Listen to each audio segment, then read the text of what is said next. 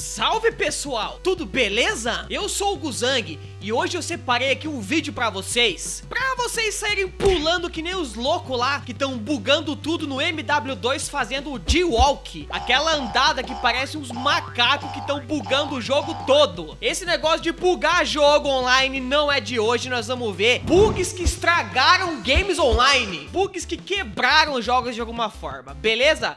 Vamos ao vídeo! E não nota o dedão aqui não, que eu machuquei, mas tá tudo certo. RuneScape foi lançado em 2001 e por um bom tempo foi a febre dos jogos online. E como todo MMO, sempre tem alguma história bizarra pra contar. O Massacre de Falador. Em 2006, tinha acabado de entrar uma atualização do RuneScape que permitiu o pessoal ter casa no jogo. Minha Casa Minha Vida versão MMO. E tinha um jogador chamado Cursed You que tinha chegado no nível 99, comprou uma casa e tava fazendo uma festa lá. E colou muitos jogadores. E os jogadores começaram a batalhar em ringues. Ó o pau quebrando, pai, eita porra! Briga na baixa, pai! Só que começou a travar tudo, pessoal. E o Cursed isso começou a expulsar o pessoal da casa dele. Só que tinha tanta gente tava tão lagado que algumas pessoas que foram expulsas da casa continuaram no modo duelo, mesmo em áreas seguras. Em cidades, né, que você não pode sair batendo nos outros, agora podia. E quem não tava bugado podia apanhar e não tinha como bater de volta. Olha que doideira. Então vocês já imaginam, o pessoal que tava com isso ativado foi em lugares que o pessoal nem podia atacar de volta, matou a galera, pegou os itens, um caos total. Também ficou conhecido como bug do 6 do 6 do 6, que aconteceu exatamente nessa data em 2006, velho. E quase estragou o jogo por completo. Sabe o bug que mais destrói canais aqui no YouTube? É o bug mental de quem assiste o vídeo e não deixa o like. Clica aí pra ajudar a não estragar o canal, beleza? Vamos ao próximo game. E tem vídeos novos aqui segunda, quarta, sexta e sábado, beleza? Pessoal, quero deixar meu muito obrigado a Pichal que me enviou esse chroma key irado da Eu Gato. Se liga. Com o chroma key, pessoal, eu consigo fazer diversos tipos de efeitos, fazer live e essa aqui é a edição que você coloca na parede. Também tem a de chão e me ajudou demais. Muito obrigado, Pichal. E a melhor loja para você montar seu PC gamer do Brasil é a Pichal. Obrigado mesmo pelo chroma aqui, da Eu Gato sensacional e valeu pela parceria. Tamo junto. Final Fantasy XIV é um game também que não escapou de ter problemas e bugs que quase estragaram o modo online.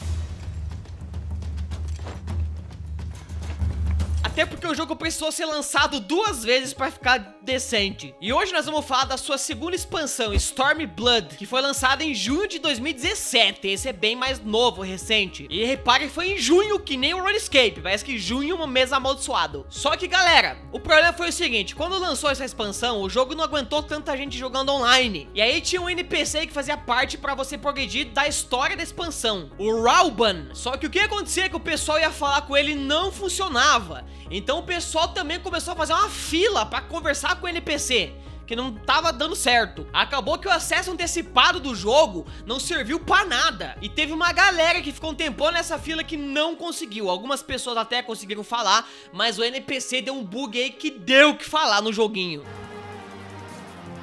World of Warcraft até hoje considerado o pai dos MMOs e claro que também teve vários bugs que quase mataram o jogo. Eu já comentei aqui no canal num outro vídeo esses tempos, mas eu vou falar de novo porque é uma história muito massa, que é a história da maldição do sangue que assombrou os servidores do World of Warcraft. Teve uma época que entrou um novo boss chamado de Hakar, Hakar. E esse chefe tinha um debuff que dava um dano no jogador de 200 a cada 2 segundos. E esse debuff espalhava para quando o outro jogador chegasse perto, também pegava mano. Era a mecânica do chefe. O problema é que isso bugou e acabou espalhando pro servidor todo, até longe do chefe. O negócio foi uma verdadeira pandemia no jogo.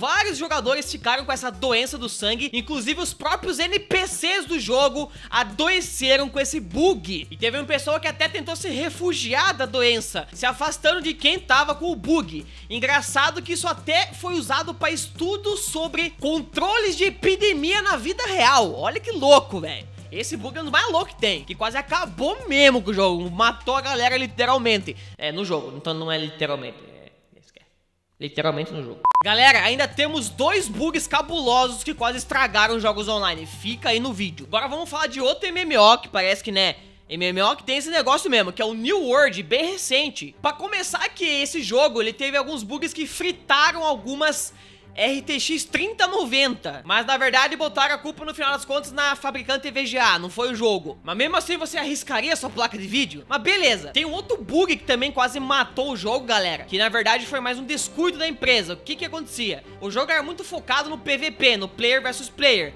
Você matando lá seus amigos online, ou inimigos online. E começou a acontecer da galera denunciar um ao outro. Quando você fazia denúncia, se várias pessoas denunciassem massa, sei lá, a conta do cara caía. Então as guildas, ao invés de brigar no jogo, começaram a se denunciar pra ficar caindo conta. Olha que doideira, mano. No meu tempo a gente brigava no joguinho, não ficava se denunciando, que bundice é essa? E também tinha um outro bug que se o jogador mandasse uma mensagem específica pro outro, o jogo crashava. Aí você ficava fazendo isso pra crashar o jogo do outro.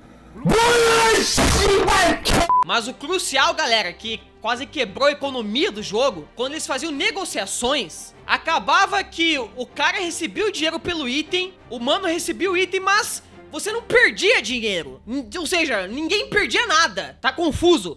Tá confuso, mas basicamente duplicou o dinheiro do jogo e quase matou a economia. E meio que até hoje o New World é um jogo que é questionavelmente quebrado, que todo mundo é meio rico. Eu até me confundi a cabeça de tanto bug e fritou. Vamos pro próximo e último, vamos! E agora, pessoal, pra finalizar, mais um duo muito bolado, que consistisse em kaitar. Não sei se é assim que se fala, tá escrito aí na tela, mas é basicamente você pegar um chefe e guiar ele tipo uma pipa. É daí que o termo vem. Geralmente existem limites e distância pra você fazer isso, mas na época não tinha. Então o pessoal kaitava um boss chamado Kazak, que era um chefe que vagava no mundo aberto pra cidade do jogo, onde ele não deveria estar.